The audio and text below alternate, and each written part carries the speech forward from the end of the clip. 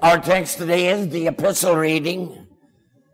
If all this is so, then the Lord knows how to rescue the godly from trials.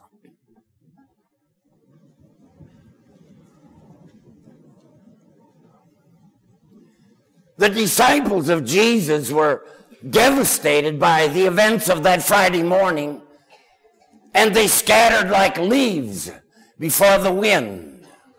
The innocent Christ was nailed to the very wooden beams of a cross at the very moment that the Passover lamb was offered in the great temple of God in Jerusalem. But later on, and looking back on those tragic events, they realized all of this was foretold in the scripture. Jesus is the Lamb of God which taketh away the sin of the world. Now you bear that in mind. Peter is saying here in this epistle, and you take the long, long view of things. When false teachers sneak in among you, and they will, and deny the very Lord that bought them and they do, nothing new has happened. And neither are the consequences. He cites two outstanding examples of God taking care of his own in fearful circumstances. He says, God did not spare the ancient world when he brought a flood upon its ungodly people. But he protected Noah, a preacher of righteousness, and seven others. This Bible story begins with one of the saddest lines in all of the scripture. It repented the Lord that he had made man. And it grieved him in his heart. How bad you gotta be to make God repent? And sorry that he ever made you exist.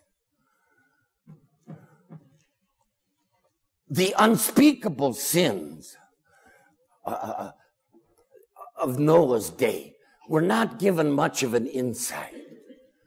All we're told is that Noah found grace in the eyes of the Lord. And God said unto Noah, Make thee an ark of gopher wood. Room shalt thou make in the ark, and pitch it within and without with pitch. And the length of it shall be 300 cubits, and the breadth of it 50 cubits, and the height of it 30 cubits. A window shalt thou make in the ark, and a door shalt thou set in the side of it. With lower, second, and three stories shalt thou make it. And God told him why. I, even I, do bring a flood of waters upon the earth to destroy all flesh wherein is the breath of life. But with thee do I establish my covenant, thou and thy wife and thy sons and thy sons' wives. And with two of every living thing, male and female. That's not the strange part. They teach that part of the story at our Naval Academy in Annapolis. The strange part is, Noah did what God commanded him. He built a boat on dry ground. Even though the weathermen were forecasting clear skies, and the graduation speakers were talking about better and brighter tomorrows, and the financial planners were pointing you to security in the future, and the clergymen were all telling their flocks that a loving God wouldn't hurt a flea. Noah kept right on ordering two by fours and cedar timbers and buckets of paint from Menards. All the while, the curiosity seekers are coming out every Sunday afternoon to see this monstrosity. And little boys are scribbling graffiti, and lovers are carving their initials in the sides of it. And the talk show hosts are calling him the Admiral of the Animals with Ensign Smokey the Bear and Chief Bosun's Mate Donald Duck. Didn't it ever get under his skin? Being the butt of all those jokes? The hot sun beating down and the sweat's running in your eyes and mosquitoes are swarming and those bills are mounting up over there at the lumber yard. Noah is called a preacher of righteousness though you're never given one instance of his mounting a pulpit or preaching a sermon. How can that be? Oh, Noah obeyed. You don't even hear that word anymore. He went right on building that ark. Rooms for his sons and his sons' wives, though Noah and his wife as yet had no children. And every day he stayed at every single hammer blow was a warning to the people among whom he lived. God condemned the cities of Sodom and Gomorrah and burning them to ashes and made them an example of what is going to happen to the ungodly. And he rescued Lot, that righteous man, because he was tormented in his righteous soul at the lawless deeds which he saw and heard. This story takes you back to the days of Abraham. The, he lived not far from the five cities of the plain, of which Sodom and Gomorrah were but two, a region so scenic, so lovely, that they called it the garden of the Lord. Because it reminded them of the Garden of Eden. But so unspeakably vile was the sin of this city and grossly perverted. Well, they didn't have a billboard out on the highway the world's wickedest cities. Depravity is us. Oh no. That isn't how it works. But the sin was so bad. The text tells us that God couldn't believe it and had to come down and see for himself. He let Abraham in on what he was about to do thereby giving Abraham a chance to intercede for the people of the cities, among whom was his nephew Lot and his family. In a humble yet a bold fashion, the old horse trader bargained with God. Will you destroy the cities, O Lord, if you can find 50 righteous souls in them? No. 45, 40, 30, 20. He finally whittled God down to the degree that he would not destroy those cities if he could find 10 righteous souls. That evening, two messengers were sent into Sodom to bring out Lot and his family. But other eyes were watching. They saw fresh meat in their streets. The men of the city, young and old, surrounded Lot's house and demanded that he throw out his two guests to them so they could rape them. Well, so much for the fiction that homosexuality is passive and nonviolent. It went downhill after that. They declined Lot's offer of women to abuse. And then they moved on Lot himself to sodomize him.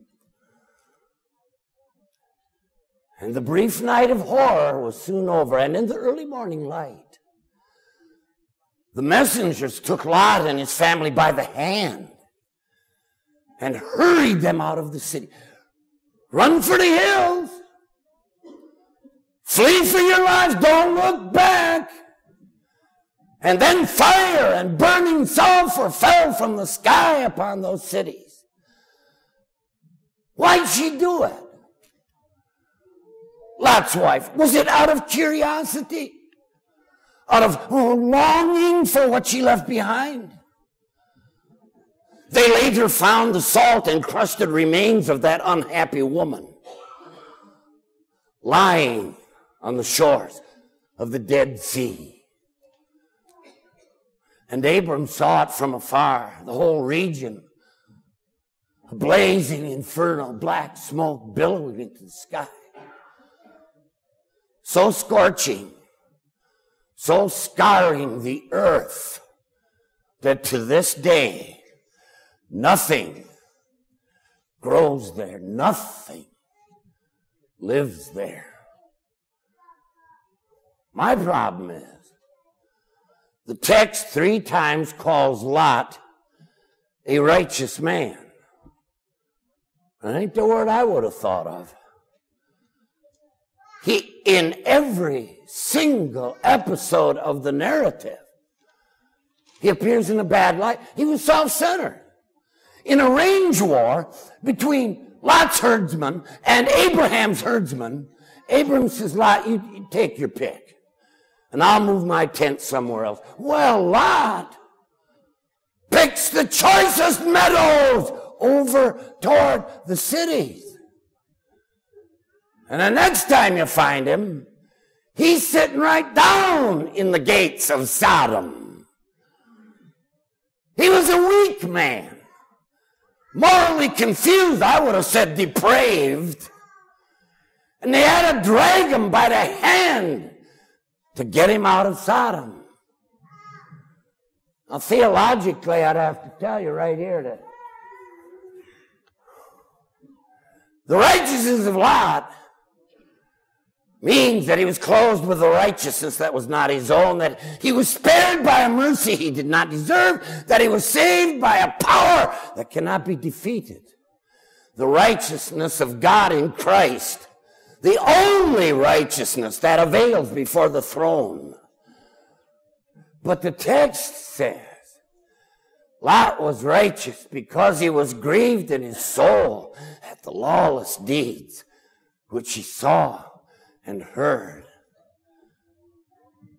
Lot didn't cave in to the culture in which he was living he still expressed shock and outrage at what was thrown in his face every day. Now, that's not much,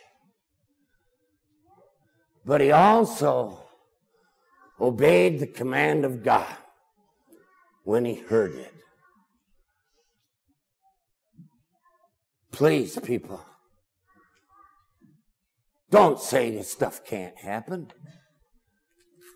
It has happened. Jesus says it is happening. Wow. We're living in it. Haven't you noticed that you have got to tolerate and accept and embrace the unnatural as though are perfectly natural. Gay liberation. sexual diversity, alternative lifestyles, same sex marriages.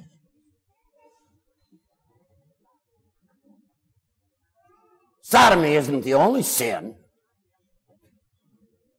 And it's not the unforgivable sin. But it is a sin. And like all sins, it must be repented of. But if you lose your sense for sin and then somebody tells you, repent, you don't get it. Because nothing's a sin to you anymore.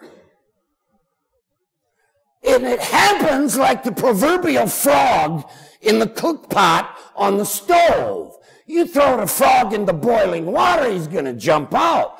Aha. Gradually turn the heat up on him. And he never notices. My children cannot imagine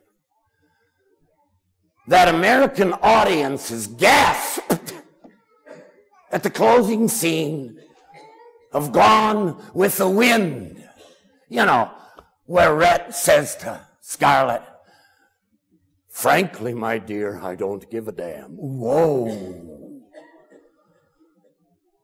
Or who can remember Ed Sullivan?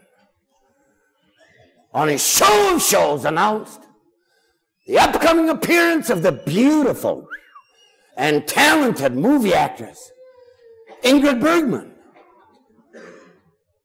But such was the outcry over that woman's adulterous lifestyle. He had to cancel her appearance. Compare that with most any movie you see today, or any afternoon or evening of television fare, and you will see how far we've drifted how morally desensitized we have become. When Charlie Brown in the comics did wrong, he felt humbled. When Bart Simpson does wrong, he feels victimized. And hardly anybody notices.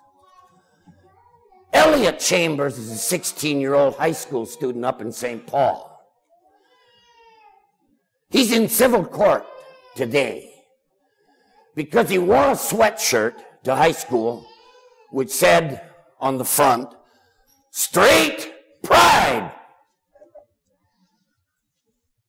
And on the back was a picture of a male and a female holding hands. The administration took that as a vicious attack on their sexual diversity program, as a hate crime against gay pride. Well, that's the world we're living in. But we're not here to affirm our culture or save our American culture or be a friend to our American culture. You and I are here to obey God. That's the first commandment you may remember. And it cannot be harder for you than it was for Noah in his day or Lot in his. Rescuing, shielding, cleansing, saving. That's God's business. And if these things are true, and I wouldn't bet against them, then God also knows how to rescue his own from their trials. Because if he could rescue Noah from the deluge and Lot from the city of Sodom. Do not fear, my friends. Take heart. Then he knows how to rescue you and me. Amen. The peace of God which passeth all understanding shall keep your hearts and minds through Christ Jesus. Amen.